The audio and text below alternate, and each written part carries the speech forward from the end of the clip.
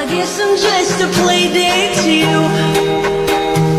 You know I give a fuck about you every day.